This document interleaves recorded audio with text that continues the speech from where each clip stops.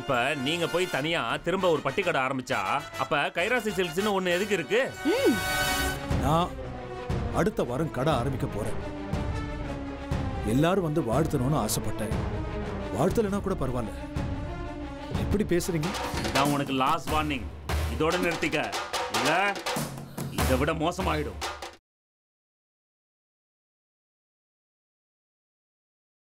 நான் டைவர்ஸ் கேட்டப்ப தர முடியாதுன்னா பிரச்சனை பண்ணா ஆனா இப்போ ஆள் மாறிட்டா. எதுக்கு? ஏன்? அவ ரெடி ஆயிட்டா. அவன் கூட செட்டில் ஆகணும்னு பிளான் பண்ணிட்டா. சரிடி எந்த சம்மந்தமும் இல்லைன்னு சொல்றல்ல அப்ப எழுதி கொடு.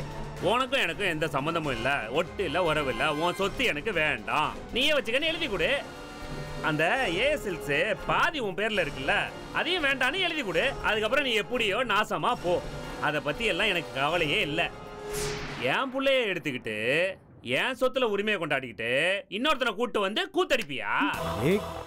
தம்பி உங்களுக்கும் அவளுக்கும் எதுவும் இல்லைன்னு ஆனதுக்கு அப்புறம் எதுக்கு அவளை பத்தி அனாவசியமா பேசிட்டு இருக்கீங்க? எனக்கும் அவளுக்கும் எதுவும் இல்லைன்னா மொத்தமா எதுவும் இல்லைன்னு ஆகணும். சொத்துலேருந்து என் புள்ள விஷயத்துலேருந்து எல்லா விஷயத்துலையும் இல்லைன்னா இல்லதான். மொத்தமா முடிச்சுக்கலாம். யோ அப்படியெல்லாம் விட்டுட்டு போகணும்னு அவசியம் எனக்கு ஒன்றும் கிடையாது. என் பிள்ளைக்கு உண்டான உரிமையை நான் விட்டு கொடுக்க முடியாது. தேவையில்லாம என் விஷயத்துல நீ தலையிடுறது எல்லாத்தையும் நீ அனாவசியமா பண்ணிக்கிட்டு இருக்க. நானும் இவ்வளவு நாளா பொறுமையா தான் போய்கிட்டு இருக்கேன். ஆனா இனிமே நான் அப்படி இருக்கிறதா இல்லையா? பாத்துடலாம்யா. இப்போ போலீஸ் வரும். உள்ள போறதுக்கு ரெடியா இரு. அம்மா ஆனந்தி அவசரப்படாதம்மா. நான் சொல்றத கொஞ்சம் கேளு. கொஞ்சம் பொறுமையா இருமா இதை பார் போலீஸ் வரைக்கும் போக வேண்டாம்மா. பாதிக்கப்பட்டவர்கிட்ட நான் வந்து நேரடியா மன்னிப்பு கேட்கிறேம்மா ஏன் மாமா? ஏன் மாமா இந்த ஆளுக்காக நீங்க போய் மன்னிப்பு கேக்குறீங்க? ஏய் என்னடி தப்பு பண்ண நானு? என்ன பண்ணிட்டேன்? நீ போய் இன்னொருத்தன் கூட பொறுக்குவ ஊர் சுத்துவ? அதை நான் சொன்னா உடனே போலீஸ்னு சொல்லி மிரட்டுவியா இந்த பாரு நான்லாம் அவனை அடிக்கல. வேற எவனோ அடிச்சிருக்கான். திரும்ப திரும்ப போய் சொன்னா அப்புறம் நல்லாவே இருக்காது. அவர் எல்லாமே என்கிட்ட சொல்லிட்டாரு. ஓ அந்த உத்தம புத்திர இந்த உத்தமி கிட்ட எல்லாத்தையும் சொல்லிட்டாராம். இவங்க அதை கேட்டுட்டு வந்து இங்கே எகிறாங்க ஏய் பொடி. உனக்கும் அவனுக்கும் இருக்கிறத கண்டுபிடிச்சி நான் எல்லார்ட்டையும் போட்டு கொடுத்துட்டேன்னு இப்ப என் மேல பழி போடுறியா? ஏய் தேவையில்லாம பேசினா செருப்பு பிஞ்சிடும். அவர் எனக்கு நல்ல ஃப்ரெண்டு ஏய் அந்த ஃப்ரெண்டுக்காக தான் கட்டின புருஷனா மரியாதை இல்லாம பேசுறியா? கொட்டின புருஷன் இல்லையா நீ? அதான் எதுவும் இல்லைன்னு ஆயிடுச்சுல. உன் வேலையை நீ பார்த்துட்டு போ. என் வழிய நான் பாத்துக்கிறேன் அப்படியே நீ சொல்ற மாதிரி நான் கல்யாணம் பண்ணணும்னு நினைச்சா அதுக்கெல்லாம் உரிமையும் எனக்கு இருக்கு. நீ எப்படி இன்னொருத்திய கல்யாணம் பண்ணிக்கிட்டியோ அதே மாதிரி தேவைப்பட்டா இன்னொரு வாழ்க்கைய தேர்ந்தெடுக்கிற உரிமை எனக்கு இருக்கு. அருமை. எப்படி வந்தா பாருங்க பாயிண்ட்டுக்கு. ஏய் வேற வாழ்க்கையை தேர்ந்தெடுக்கிறவ எதுக்குடி இங்க உட்கார்ந்துகிட்டு இருக்க? வெளியே போ. வெளியே போய் என்ன வேணா கூத்தடி. எதுக்கு இந்த வீட்டுல இருக்க? உனக்கும் இந்த வீட்டுக்கும் என்ன சம்பந்தம்? எனக்கு இந்த வீட்ல உரிமை இருக்கு. உனக்கு என்ன இருக்கு? அவளுக்கு நாங்க இருக்கோம் சரவணா. நாங்க இருக்கோம். இதுக்கு மேல பேச்ச வளர்த்தா அது உனக்கு நல்லா இருக்காது. நீ இதோட நிறுத்திக்க. ஓ என்ன பாக்குற? போன் சொல்றல. ம் இது பாரு ஆனந்தி. பொறுமையா இந்த பிரச்சனையை தயவு செஞ்சு பெருசு பண்ணாத. அவனுக்காக நான் உங்ககிட்ட மன்னிப்பு கேட்டுக்கிறேன். மாமா. வேணும்னா அந்த தம்பியை போய் பார்த்து நான் மன்னிப்பு கேட்டுக்கிறேன். இனிமே இந்த மாதிரி நடக்காதுமா. நீ போய் அந்த தமிழ ஹாஸ்பிட்டல்ல பார்த்து ஆறுதல் சொல்லு. வேணும்னா நான்- நானும் உன் கூட வரேம்மா. பேசலாமா வேணாம் மாமா. நான் பாத்துக்கிறேன். என்னால மத்தவங்க பாதிக்கப்படுறாங்க மாமா. அதான் எனக்கு பிரச்சனையா இருக்கு.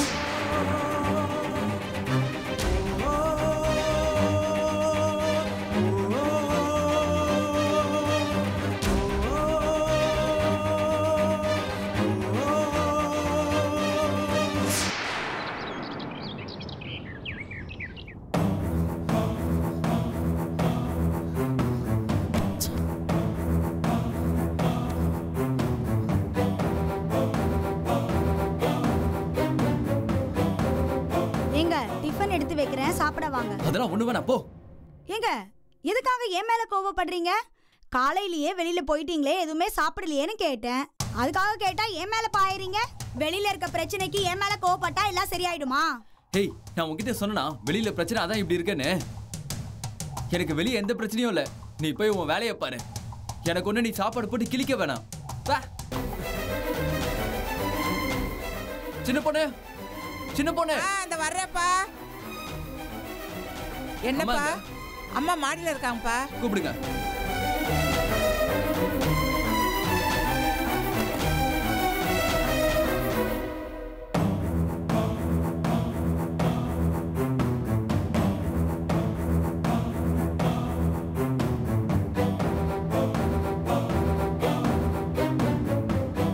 என்னடா?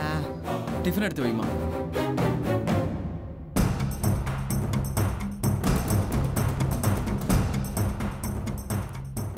இளங்கோ. அதான் உமா இருக்கால்ல. அவ இல்லைன்னா சின்ன பொண்ணு இருக்கா. இப்பதான் மாத்திரையை போட்டு படுக்கலான்னு படுத்தேன். என்ன எழுப்பி வந்து டிஃபன் எடுத்து வையுங்கிற. ஏமா நீ சாப்பாடு போட மாட்டியா? இல். என்ன நீ தானே பெத்த? பெத்தத்துக்கு இத்தனை வருஷமா நான் தானே சோறு போட்டுட்டு இருந்தேன்.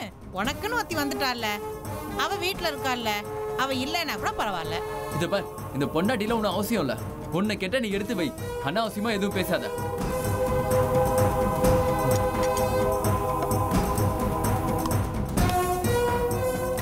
சூடா இருந்ததுடா.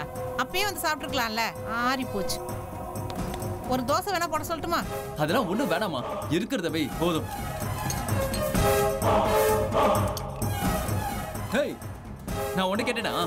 எனக்கு டிஃபன் எடுத்து வைன்னு கேட்டேனா? இல்ல கெஞ்சினா ஹேய் போடி. என்னடா? என்ன பிரச்சனை உனக்கு? ஏன் இவ்வளவு கோவப்படுற? அதானே எதுக்கு அந்த புள்ள போய் எரிஞ்சு விழுகுற பாவம் அந்த புள்ள. நீ கொஞ்சம் சும்மா இருக்கியா? அம்மா நான் உன்னை தான் டிஃபன் எடுத்து வைக்க சொன்னேன். நீ மட்டும் தான் எடுத்து வைக்கணும். அவ எதுக்கு வரா? நான் தானே டிஃபன் எடுத்து வச்சேன். அவ ஏதோ சட்னியை தானே எடுத்து போட வந்தா? அதெல்லாம் ஒண்ணும் செஞ்சு கிழிக்க வேணாம். நீ போட்டா போடி இல்லடா டிஃபனே வேண்டாம். உக்காருடா. உக்காரு. குடுமா. சாப்பிடு. ஏங்க இப்ப என்னங்க பிரச்சனை? நான் என்ன தப்பு பண்ணிட்டேன்னு என் மேல இவ்ளோ கோவப்படுறீங்க? ஏய் சும்மா பேசாத. உங்க வீட்டுல பிரச்சனை என்னதும் இங்க வந்து உட்காந்துப்ப இப்ப இங்க ஜாலியா சுகமா இருக்க. ஆனா என்ன பாரு? ஒவ்வொன்றுத்துக்கும் நாய் மாதிரி வெளியே போய் அலைய வேண்டியதா இருக்கு. வாழ்க்கையில எந்த முன்னேற்றமும் வர மாட்டேங்குது ச்சே. ஹேய் அன்னைக்கு நான் உங்ககிட்ட என்ன சொன்னேன்? உங்க அண்ணன் கிட்ட பவர் எழுதி வாங்கிட்டு வான்னு சொன்னல பொறுமையா இருன்னு சொல்லி சொல்லி என்னை இன்னும் ஒண்ணுமே இல்லாம ஆக்கிடுவ போல இருக்கு. எதுக்குங்க அவசரப்படணும்? அது நம்ம பேர்ல தாங்க வரப்போகுது. எப்போ வரும்? இந்த ஜென்மத்துல வந்துருமா? போடி இதுதான் காலகாலமா சொல்லிட்டு இருக்கீங்க வாயில வடை சுட்டா வந்துருமா? அதை எழுதி வாங்கிட்டு வந்தா தானே? விக்கிறதா வேற என்ன பண்றதுன்னு யோசிக்க முடியும்? என்னது? விக்கணுமா? அது எதுக்குங்க விக்கணும்? ஆமா அதை வித்துட்டு ஏதாவது செய்யலாம்னு நானே பிளான் பண்ணிருக்கேன் ஏங்க அது இப்ப விக்கிறதுக்காகவா போய் வாங்கிட்டு வான்னு சொல்றீங்க? ஏன்? விற்க கூடாதா எங்க வீட்டு சொத்தெல்லாம் பானு பேர்ல இருந்தப்ப நீ என்ன சொன்ன? அதை நம்ம பேர்ல மாத்தினா அதை வித்துட்டு பிசினஸ் பண்ணலாம்னு சொன்னல என் சொத்துனா அது இழப்போம்? உன் சொத்துனா அது பெரிய இதுவா? முட்டாள்தனமா பேசாதீங்க. உங்க அப்பா அம்மா குடுக்கறது வேற இது வேற. மாமியார் வீட்டு சொத்தை எடுத்து வித்தா இதை விட கையால் ஆகாத வேற எதுவுமே இல்ல. தம்பி. என்னடா? என்னடா காரியம் பண்ணிட்டு இருக்க நீ? உக்காரு முதல்ல. உமா நீ போமா உட்காருப்பா. நீ உட்காருப்பா என்னடா கை நீட்டுற பழக்கம்? கை நீட்டி அடிக்கிறதுல என்னடா பழக்கம்? புது பழக்கமா இருக்கு? இதெல்லாம் கெட்ட பழக்கம். உக்காரு முதல்ல. உக்காரு. சாப்பிடு. சாப்பிடு. பொண்டாட்டிய கை நீட்டி அடிச்சுக்கிட்டு.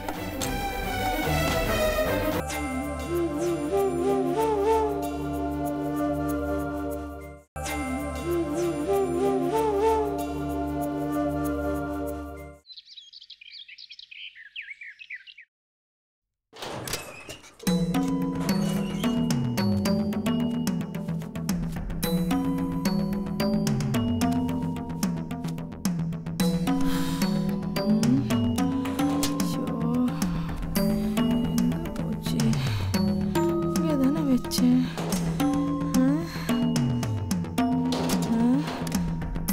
வச்சிருந்த பணம் எங்க போச்சு?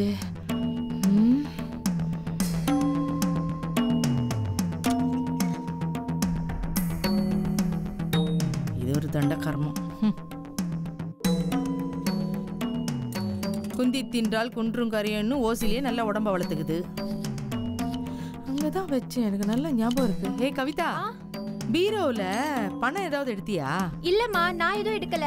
இல்லடி ஒரு ரெண்டாயிரம் ரூபாய் வச்சிருந்தேன் காணுமே. எனக்கு என்னமோ சந்தேகமா இருக்கு உன் வீட்டுக்காரன் எடுத்திருப்பானோன்னு. எங்க அவன்? அதெல்லாம் அவர் எடுத்திருக்க மாட்டாருமா. ஏன்? நீ ஏதாவது அப்பப்ப அவனுக்கு காசு கொடுத்து கிடக்குறியா? இல்லம்மா என்கிட்ட இருந்தா அப்பப்ப கொடுப்பேன். ஆனா இப்பதான் என்கிட்ட காசே இல்லையே. பின்ன அவனுக்கு ஏதடி காசு? இந்த பாரு அவ ஆத்தாக்கறி பூதம் இருக்குத அங்க உட்காந்து பழமோ தின்னு கிடக்குதுடி. அப்ப நீ தான் வாங்கி கொடுத்தியா? இல்லம்மா. சந்தேகமே கிடையாதுடி. அப்போ உன் புருஷன் முண்டன் தான் எடுத்திருக்குது. ஆமா. அம்மா அது என் மாமனார் கூட வாங்கி கொடுத்துருக்கலாம்ல ஐயோ உன் மாமனார் பெரிய அம்பானியோட பையன். அப்படியே மொத்தம் சொத்து சொத்தா இருக்குது. பேங்க்ல போட்டு சேர்த்து வச்சிருக்கிறாங்க. அதை எடுத்து அப்படியே செலவு பண்ணி கிடக்குறாங்க. ஏதாவது என் வாயில வந்துட போது சொல்லிட போறேன். அவங்களே இங்க மத்தமா வந்து உட்காந்துன்னு என் துட்டுல தண்டை தீனி தீனுன்னு கிடக்குதுங்க. இதுல தனியா வேற சேர்த்து மரத்துல இருந்து காய்க்குது அவருக்கு. பேசுறேன். ஓ உன் புருஷன் தான் எடுத்திருப்பான். போய் கேளு போ. அம்மா நான் எப்படிம்மா இப்ப போய் கேக்குறது? ஏய் என்ன? ஒரு காசு ரெண்டு காசு இல்ல. சொல்லையா ரெண்டாயிரம் ரூபாய் காணாம போயிருக்குது. நான் அப்படியே விட்டுற சொல்றியா? நான் கஷ்டப்பட்டு குத்தைக்கு விட்ட பணம்டி அது. கொஞ்சம் கொஞ்சமா சேர்த்து வச்சிருந்தேன். இந்த பாரு இப்ப நீ போய் கேக்குறியா? இல்ல நான் போய் கேட்கட்டுமா நான் போய் கேட்டேன்னு வச்சுக்க அப்படியே நாக்கு பிடிக்கிட்டு நாண்டுக்கிட்டு சாகுற மாதிரி இருக்கும். பரவாயில்லையா? என்னம்மா இதெல்லாம்? போய் கேளுப்பா. ஹாய் டாட் என்ன நாலு பூரா பேப்பர் படிச்சுக்கிட்டே இப்படியே கால ஓட்டலாம் முடிவு பண்ணிட்டீங்க good job very good carry on carry on carry on படிங்க படிங்க. ஐயோ மிஸ் பண்ணாதீங்க படிங்க. கவிதா காஃபி கொண்டு வா. ஏய் காஃபி எல்லாம் அப்புறம் முதல்ல காசு எங்கன்னு சொல்லு. வாட் காசா? வாட் காஸ் விச் மணி செருப்பு பிஞ்சிரும் சொல்லிட்டேன். மரியாதைய உண்மையை ஒத்துக்க. ஏங்க அம்மா பீரோல காசு வச்சிருந்தாங்களாம் எடுத்தீங்களா? ஏண்டே நான் எதுக்கு இவங்க காசு எடுக்கணும்? ஆ? நான் எதுக்கு இவங்க காசு எடுக்கணும்? உனக்கு எதுடா காசு? ஏன் பணம் தானடா? ஏங்க என் பையன் மேல எதுக்குங்க திருட்டு பட்டம் கட்டுறீங்க? ஆ? பின்ன நீ பழமா உட்கார்ந்து தின்னு கிடக்குறிய அது என்ன உன் மாமனார் தோட்டத்துல காய்ச்சுதா? ஆ? அது என் பையன் எனக்கு வாங்கி கொடுத்தது. ஏய் அதுதான் ஏது காசுன்னு கேக்குறேன். ஏங்க உங்க வீட்ல வந்து இருந்தா எங்க கிட்ட காசே இல்லைன்னு அர்த்தமா? ஆ. ஐயோ இருக்கும். ஆனா அது எங்க இருந்து வந்துச்சுன்னு தான் கேள்வி. சொல்லு. அப்போ என்ன மறைமுகமா திருடன் சொல்றீங்க? ஏய் சி சி சி சி. எனக்கு பின்னாடி பேசுற பழக்கம்லாம் இல்ல. மூஞ்சிக்கு நேராவே கேட்பேன் தெரியுமா? நான் இப்ப சொல்றேன்டா. நீ தான் எடுத்த நீ தான் அந்த திருடன். ஏங்க என்ன பேச்சு பேசுறீங்க நீங்க? ஆ? மாப்பிள்ளைங்கிற மரியாதை கொஞ்சம் கூட இல்லையே. யாரு? இவன். இவன் எனக்கு மாப்பிள்ளையா? எனக்கு மாப்பிள்ளைன்னா என் பொண்ணு மீனாட்சி இருக்காள. அவளோட புருஷன் மட்டும் தான் எனக்கு மாப்பிள்ளை. அப்படிப்பட்ட உத்தம மகா பிரபுவையே நான் தூக்கி போட்டு வந்துட்டேன். இவன்லாம் ஏமாத்துறான் எனக்கு. ஏங்க நான் ஏமாந்தவன் நினைச்சிட்டு இதெல்லாம் பேசுறீங்க? இதே மாதிரி இன்னொரு மாப்பிள்ள இருக்கானே வீரசானா. அவங்ககிட்ட பேசிருவீங்களா? அப்படியே வாயிலே குத்துவான். ஏற்கனவே வாங்கியிருக்குன்னு கேள்விப்பட்டேன். ஏ யார் அந்த ஆப்பசட்டி தலையனா? டேய் போடா. ஒரு தடவை வாசல் வரைக்கும் வந்து என்கிட்ட விளக்கு தாலிய வாங்கிட்டு போனான் தெரியுமா உனக்கு? ஏன் இவ்ளோ. நீ கூட ஒரு தடவை என்கிட்ட வாங்கி கட்டிக்கிட்டியே மறந்துட்டியா? கல்யாணம் பண்ணிக்கிட்டு புதுசா என்கிட்ட ஆசீர்வாதம் வாங்கணும்னு வந்தியே. அப்போ விளக்கு மாத்தாலேயே விளாசனே மறந்துட்டியா? என் மேல அவன் கைய வச்சான்னு நினைச்சுக்க. அவ்வளவுதான் அத்தோட அவன் செத்தான். ஏய் கேப் மாதிரி இந்த பேச்ச மாத்திர வேலை என்கிட்ட வேண்டாம். முதல்ல காசு எடுத்து கீழே வை. கவிதா உங்க அம்மா ரொம்ப மோசமா பேசிட்டு இருக்காங்க. நாளுக்கு நாள் இந்த வீட்ல எனக்கு மரியாதை தேய்ச்சிட்டா போயிட்டு இருக்கு ஏய் வெண்ண உனக்கு நான் என்னைக்கு மரியாதை கொடுத்து பேசியிருக்கிறேன்? இப்ப நீ புதுசா அதையில என்கிட்ட எதிர்பார்க்காத. எடுத்து காசை கீழே வைடா. ஏங்க நான் தான் எடுக்கலன்னு சொல்றேன்ல. இத பாரு பொய் சொன்னேன்னு வச்சுக்க தூக்கி போட்டு ஒரே மிதி மிதிச்சிடுவேன் அம்மா அவர் தான் எடுக்கலன்னு சொல்றாருலம்மா விடமா அப்புறம் எப்படி? என் காசு என்ன தன்னால கால் முழிச்சு வெளியில போயிடுமா? ஆ? அந்த காசு நானே உனக்கு கொடுத்துறேம்மா. ஆ, அப்படியா? சரி சரி யார் கொடுத்தா எனக்கு என்ன? எனக்கு தேவை காசு எடுத்து வை. ஏய் என்ன பண்ற? நிறுத்துடி. அதெல்லாம் எனக்கு ஒன்றும் தேவையில்ல. பாரு பணத்தை நீ தான் எடுத்தன்னு ரெண்டு நாள்ல ஒத்துக்க. இல்ல எனக்கு தெரிஞ்ச சாமியார் ஒருத்தர் இருக்காரு. அவரு முட்டை மந்திரிச்சு தருவாரு. அதை எடுத்துட்டு வந்து இங்க வச்சேன்னு வச்சுக்க மவனை நீ ரத்தம் கக்குவடா. அவ்வளவுதான். நீயே ஒழுங்கு மரியாதை எடுத்து வச்சிரு? ரெண்டாயிரம் ரூபாய் என்ன உனக்கு ஈஸியா இருக்குதா? உட்காந்து தண்டை அம்மா. சோறு திங்கிறது இல்லாம இது வேறயா உனக்கு?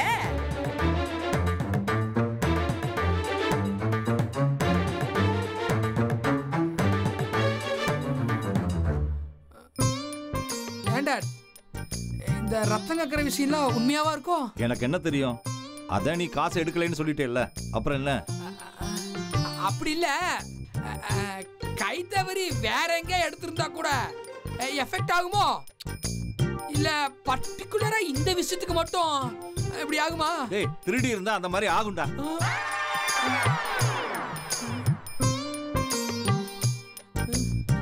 எங்கிட்ட வாங்கி திங்க வேண்டியது திருட்டு பட்டம் மட்டும் எனக்கு கட்டுறது. பார்ப்போம் யார் ரத்தம் காக்குறாங்கன்னு?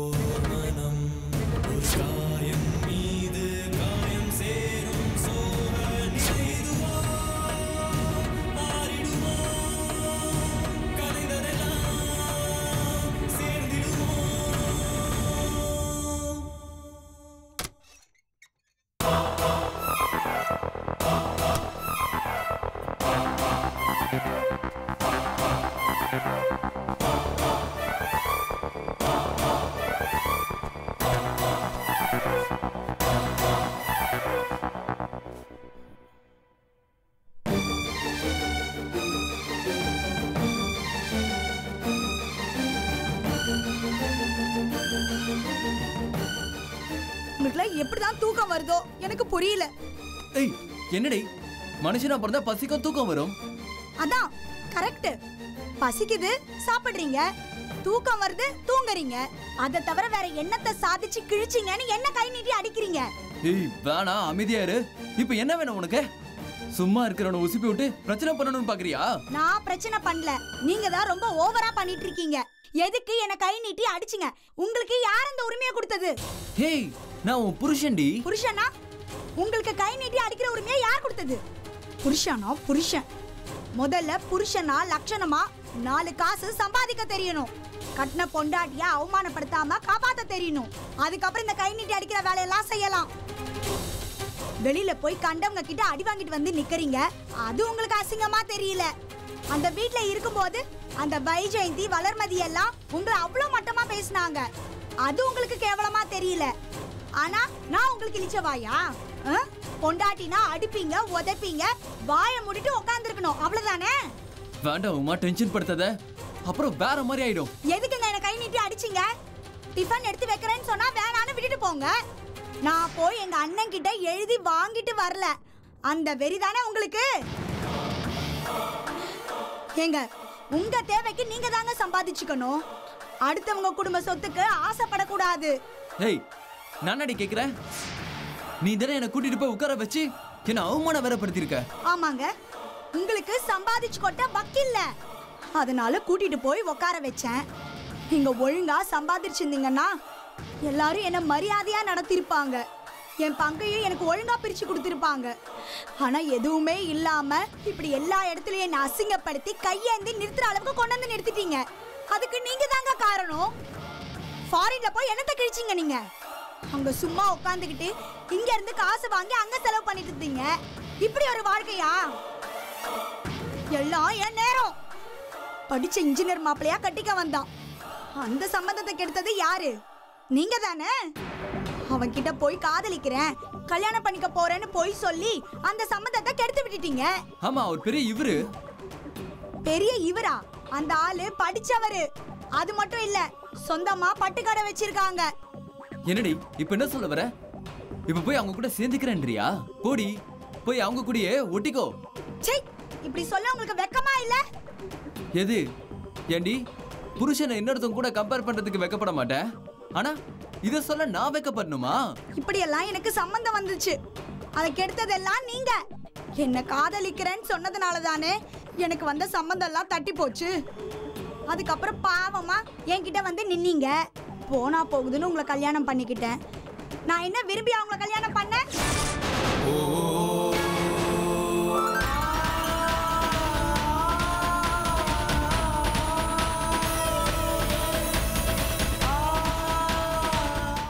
அப்பா என் கூட ஜாலியா இருக்காரு. ஆனா அந்த ஆண்டி வந்தா பயந்து ஓடிடுறாரு